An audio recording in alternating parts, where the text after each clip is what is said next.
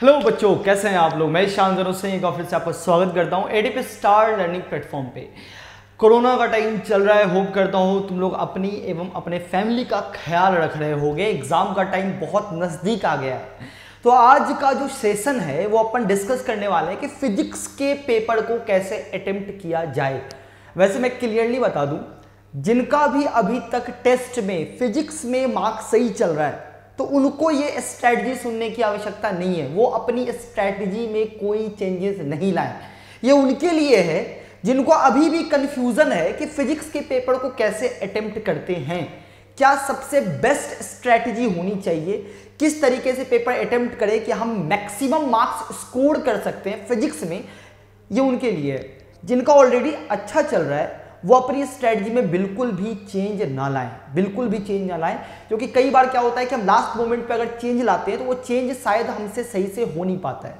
तो ये उनके लिए ही है, जिनका पेपर स्ट्रेटजी उतना अच्छे से नहीं चल रहा है। तो आज मैं कुछ पॉइंट्स डिस्कस करने वाला हूँ, और उन पॉइंट्स का मैं तुम्हें प्रैक्टिकल एग्ज़ाम्पल भी बताऊँगा कि भाई देखो ये क्वेश्चन में कैसे अपने को सोचना है, क्या करना है। वो प्रैक्टिकल एग्ज़ाम्पल भी मैं बताऊँगा। ठीक है? तो पहले अपन पॉइंट्स देखते हैं, फिर प्रैक्टिकल एग्ज़ाम्पल देखेंगे। वीडियो में जो भी आ चुके हो लाइक कर देना शेयर कर देना, ठीक है? तो स्टार्ट करते हैं। सबसे पहला जो पॉइंट होता है, वो होता है टारगेट देखो, ये बहुत इंपॉर्टेंट है कि जब भी तुम एग्ज़ाम में बैठो, तुम्हारे दिमाग में एक सेट टारगेट होना चाहिए, और टारगेट बहुत बड़ा भी नहीं होना चाहिए। टारगेट बोले तो कि भाई, मेरे को फिजिक्स में 25 क्वेश्चन में 15 क्वेश्चन सही सही करना है। ये एक टारगेट होता है। अब ऐसा नहीं कि 25 से मेरे को 24 सही करना है। तो ऐसा भी टारगेट मत लो जो बिल्कुल अवकाश से बाड़ी हो। ऐसा टारगेट ले लो कि हाँ भाई, मैं ये अचीव कर सकता हूँ।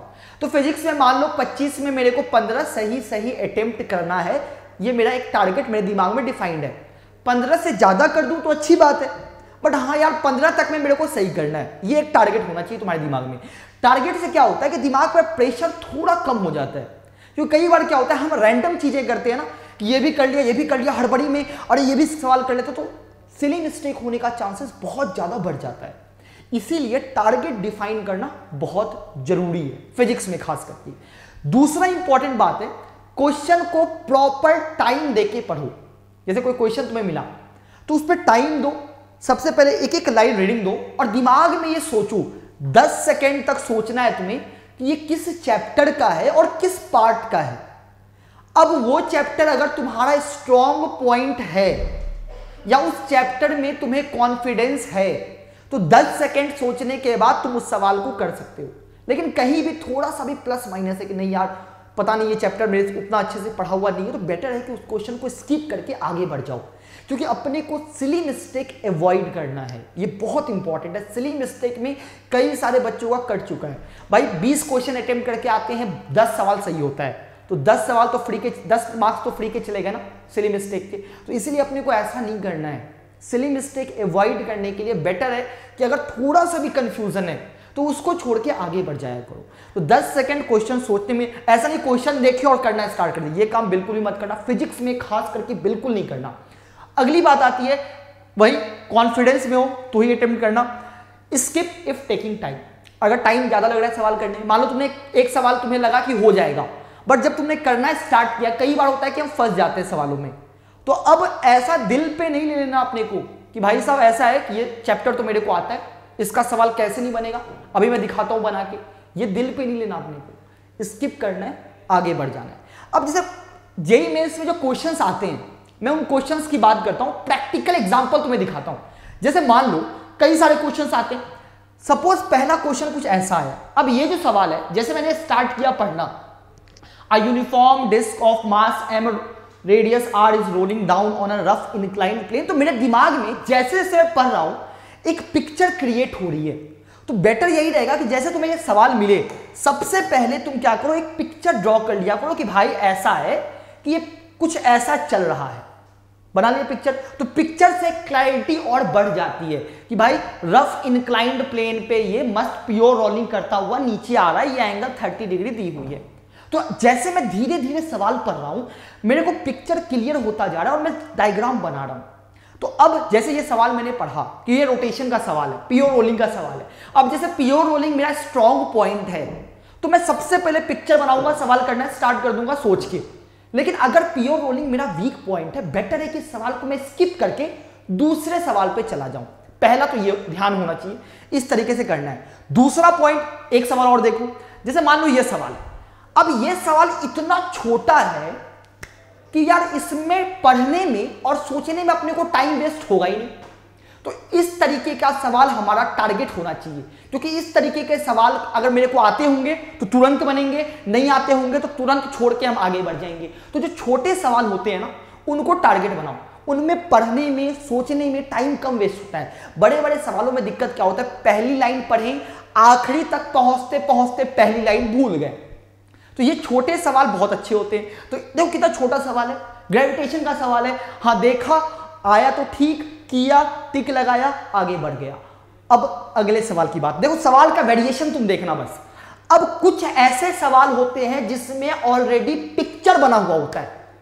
ये पिक्चर 90 परसेंट बात तो यहीं पे क्लियर कर देता है कि ये सवाल तेरे से बनना है कि नहीं बनना।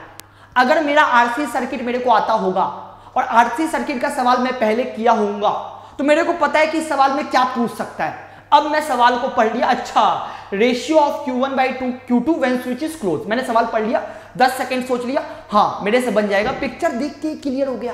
तो पिक्चर वाला सवाल ऐसा होता है, जो अपने को बहुत अच्छे से क्लियर कर देता है कि भाई ये सवाल तेरे से बनना है कि नहीं बनना है। सिमिलरली करंट का सवाल फाइंड आर इक्विवेलेंट सर्किट देख के पता चल जाएगा कि बनना है कि नहीं बनना है। तो ऐसे पिक्चर वाले सवाल को पकड़ा करो। क्योंकि ये देख के पता चलता है कि हाँ बनेगा कि नहीं बनेगा। और अपने को ज़्यादा उसमें सोचना नहीं पड़ता है। ठीक है? अब कुछ सवाल ऐसे होते हैं जो सच में दिमाग खराब करते हैं। जैसे ये सवाल, हर साल जेई मेंस में एक दो सवाल ऐसा आता ही आता है जो काफ़ी बड़ा, खतरनाक सा पिक्चर देखने में लगता है कि एडवांस का क्वेश्चन है। अब प्रॉब्लम क्या है? यहाँ से पढ़ना स्टार्ट किया, यहाँ पहुँचते पहुँचते ये लाइन भूल गया क्या लिखा हुआ था?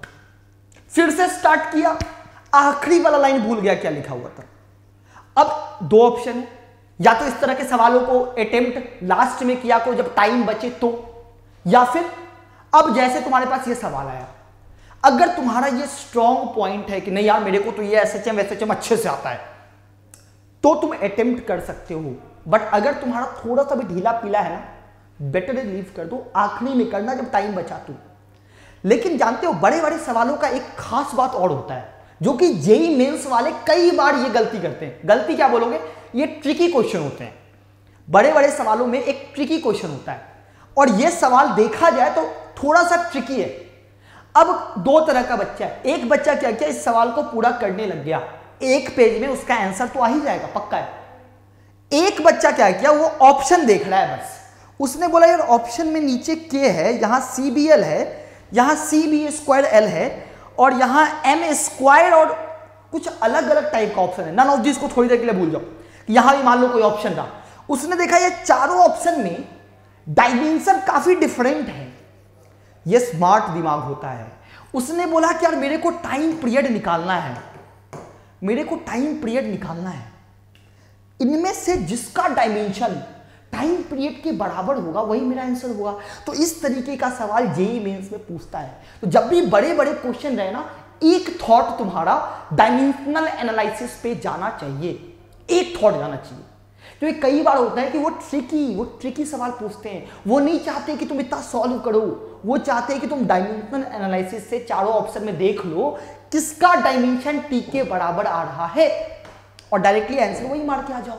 क्योंकि कई बार देखो कितना डिफरेंट और ये मैं नहीं बोल रहा, तुम प्रीवियस ईयर देखो।